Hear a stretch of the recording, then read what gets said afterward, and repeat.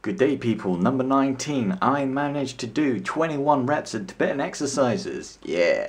And today I got to hang out with my mum, then I got to hang out with my mate Ed. Ed bought me these nom noms. Nom noms go, nom nom nom. And I got to hang out with my mate Ken, and Ken bought me some nom noms. Nom noms. I already had half of my nom uh, nom nom. It was uh, apple and something. I ain't gonna eat anything now because I'll have a bad night, but nom nom.